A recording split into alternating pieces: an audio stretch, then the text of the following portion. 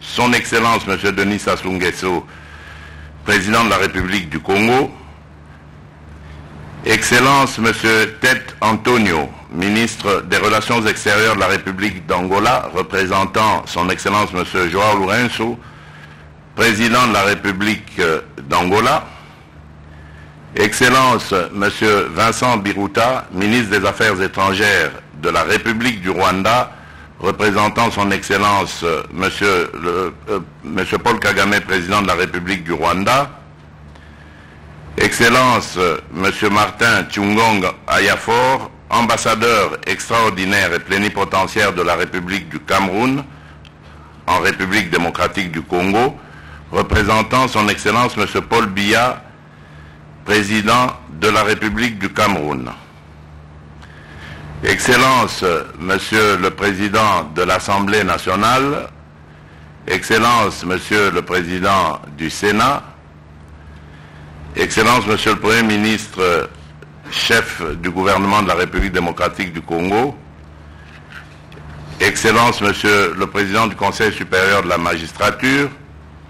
Mesdames et Messieurs les ministres des États membres de la communauté économique des États d'Afrique centrale, Monsieur le Président de la Commission de la communauté économique des États de l'Afrique centrale, Mesdames et Messieurs les commissaires de la Commission de la communauté économique des États de l'Afrique centrale, Mesdames et Messieurs distingués invités. C'est avec un plaisir tout particulier et un grand honneur que je préside ce jour la 21e session ordinaire de la conférence des chefs d'État et de gouvernement de la CEAC. Avant toute chose, qu'il me soit permis de vous souhaiter la bienvenue et aussi un excellent séjour à Kinshasa à l'occasion de cet événement. Je salue votre présence et vous exprime mes très sincères remerciements pour avoir accepté de bousculer vos agendas très chargés afin de venir participer à ces assises. Pour mémoire, la 21e session ordinaire se tient sept mois après la 20e session ordinaire organisée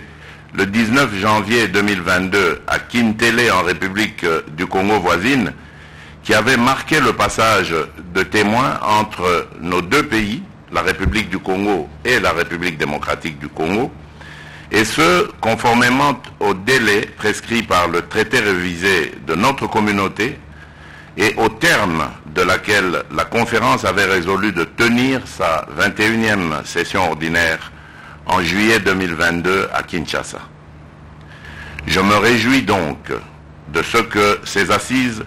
se sont effectivement tenues à la période arrêtée et décidées par la conférence à Kintele.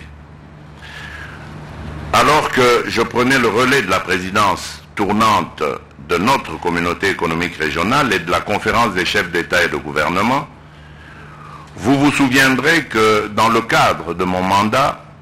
j'avais annoncé d'inscrire mon action dans la continuité, notamment en poursuivant la réforme de notre organisation régionale avec un accent particulier sur la mise en œuvre du traité revisé de la CEAC adopté en 2019, réforme initiée par mon prédécesseur, son Excellence Denis Sassou Nguesso, président de la République du Congo. Car la poursuite de cette réforme constitue à mes yeux un impératif absolu en vue de la matérialisation des objectifs définis par ce traité révisé de notre communauté. Aussi avais-je souligné à cette même occasion que les dispositions du dit traité font transparaître clairement le cap que nous avons fixé, à savoir tous ensemble déterminés et engagés à matérialiser la vision de l'autonomie collective de la CEAC, avec comme priorité élever le niveau de vie des populations de l'Afrique centrale à travers la création d'un environnement de paix et de sécurité, offrant des opportunités d'emploi de nature à améliorer les performances économiques, l'égalité des sexes, l'accès à l'eau potable, aux communications et au transport transport. Une vision noble car salutaire pour nos populations. Cependant, permettez-moi de rappeler ici, puisque vous le savez bien autant que moi,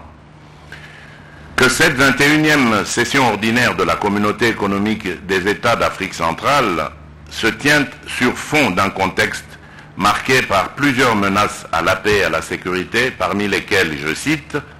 la flambée des prix des produits de première nécessité dans les États membres, suite notamment aux mauvaises campagnes agricoles, conséquence du dérèglement climatique, de la crise sociale, économique et financière liée à la pandémie de la Covid-19, et plus récemment aux difficultés d'importation liées à la crise russo-ukrainienne. La persistance de l'activisme des périls sécuritaires dans la région du lac Tchad et l'impact de l'activisme des groupes terroristes dans la bande sahélo-saharienne. La persistance de l'activisme des groupes armés rebelles, des groupes terroristes et autres forces négatives dans la région, la persistance de la crise humanitaire due au déplacement des populations dans plusieurs États membres principalement en conséquence de l'insécurité politico-militaire, la résurgence des conflits intercommunautaires en raison notamment des changements climatiques qui entraînent une raréfaction des ressources,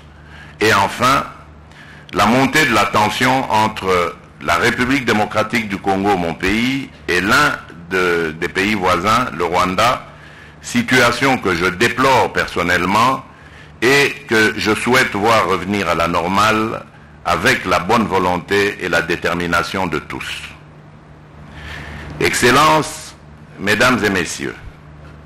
l'Afrique centrale a été pendant longtemps le théâtre de plusieurs conflits armés qui ont profondément déstabilisé bon nombre de ses États et durablement affecté ses populations. Ces conflits armés ont hypnotisé les bases de la croissance économique et ralenti les progrès vers la réalisation des objectifs millénaires du développement, les OMD en sigle. Ainsi, face aux menaces si haut évoquées, il est certain que si des efforts mutuels ne sont pas conjugués en vue de les stopper, je suis plus que convaincu que nous ne saurons pas être capables de répondre aux aspirations profondes de nos peuples respectifs, car ces menaces ont pour vocation de déstabiliser les institutions de la CEAC e et par voie de conséquence, la croissance économique de la région deviendrait hypothétique. C'est pourquoi, la conférence étant un organe suprême de prise des décisions et de définition des politiques de la communauté économique des États d'Afrique centrale, et ce, conformément aux dispositions pertinentes du paragraphe 2 du traité révisé de cette dernière, cette 21e session ordinaire s'est donnée pour objectif général de s'assurer du fonctionnement régulier des institutions de la communauté, de contrôler et de suivre la mise en œuvre des politiques, ainsi que des décisions approuvées par les instances communautaires. Et pour y parvenir, des objectifs spécifiques ont été définis par la commission de la CEAC, e à savoir apprécier l'état de mise en œuvre du plan d'action prioritaire, PAP, de la CEAC e euh, au premier semestre 2022, examiner et approuver les recommandations des ministres sur la réorganisation du cadre institutionnel de la CEAC e en matière de gestion des ressources forestières et halieutiques, acter la proposition du Conseil portant sur l'organisation de la conférence maritime en novembre 2022. C'est donc en fonction de ces objectifs que les points inscrits à l'ordre du jour noter ont été choisis, à savoir. Le rapport d'activité de la Commission au premier semestre 2022, la situation politique et sécuritaire de la région, l'arrimage des textes de la force multinationale de l'Afrique centrale, la FOMAC, et de la structure de l'état-major régional, l'EMR, aux traités révisés et aux textes légaux révisés de la CEAC. E la réorganisation du cadre institutionnel de la CEEAC en matière de gestion des ressources forestières et halieutiques, le renforcement du cadre organique de la Commission en matière de gestion financière et comptable.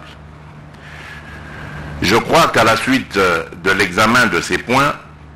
des résolutions et recommandations pertinentes vont être formulées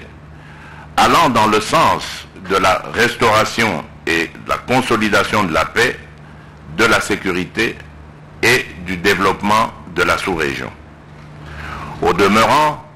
je tiens à vous réitérer mes voeux de bienvenue et à vous souhaiter d'excellents travaux et je déclare ouverte la 21e session ordinaire de la conférence des chefs d'État et de gouvernement de la communauté des États d'Afrique centrale, que vive l'intégration régionale, que vive la communauté économique des États de l'Afrique centrale, que vive l'unité entre nos peuples. Je vous remercie.